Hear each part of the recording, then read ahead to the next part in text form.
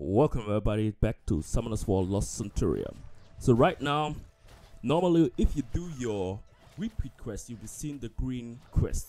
But my monsters are fighting uh, right now itself without the quest.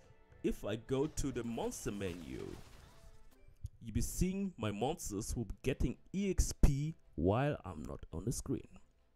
So if you don't know what repeat battle is, if you um, let me go back press the square at the top right corner go to quests and then print on repeat quests you can send your monsters for repeat quests i know okay they'll be getting better rewards than what i'm doing.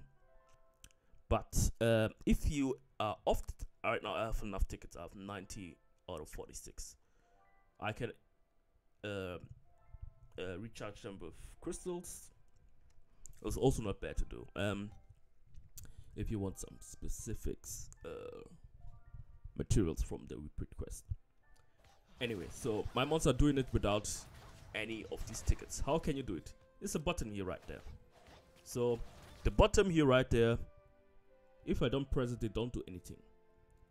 So with this button, you can click it, and if you have a device that can uh, be on for a long time without having any battery issues or something.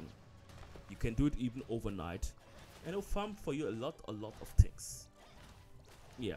So that's it with the tip. This was a short tip.